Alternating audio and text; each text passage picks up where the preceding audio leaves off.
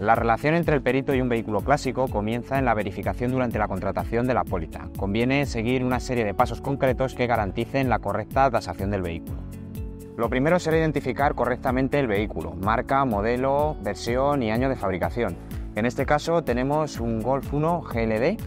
Lógicamente el valor será distinto al de una versión GTD o GTI y es importante que nos fijemos en el año de fabricación del vehículo y no lo confundamos con el año de matriculación. Por ejemplo, en este caso, este vehículo está matriculado en el año 1980, pero el año de fabricación es 1978. Lo podemos ver porque es un modelo pre-restyling, lo vemos en la forma de los pilotos traseros, así como en el diseño del salpicadero. A continuación deberemos identificar el estado del vehículo, comenzando por el exterior del mismo. Buscaremos sobre todo signos de corrosión en las zonas más expuestas a las salpicaduras de las ruedas, interiores de aleta, pases de rueda, taloneras, torretas de suspensión delantera y traseras, compartimento de la rueda de repuesto, etc.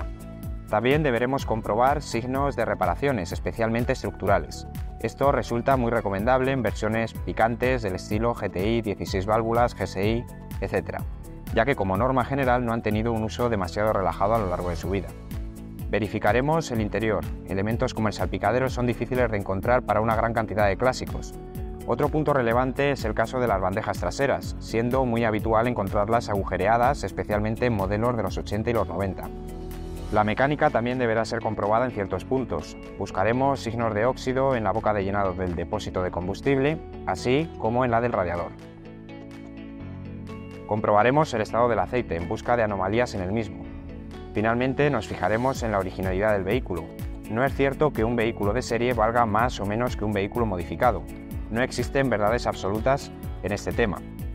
Todo dependerá del modelo, el tipo de modificaciones y sobre todo las tendencias del mercado.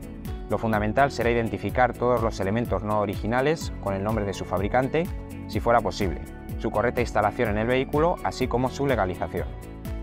Fijándonos en todos estos aspectos será posible estimar de una manera correcta el valor de mercado del vehículo, evitando así complicaciones en un futuro. Todo ello debe verificarse si es posible en el momento previo a la contratación, pues el valor por el que se asegure el vehículo dependerá totalmente de estos puntos. Además, ante un siniestro, el hecho de encontrarnos con un vehículo oxidado afectará la viabilidad de la reparación, incrementando enormemente el tiempo necesario para su reparación y por consiguiente su coste.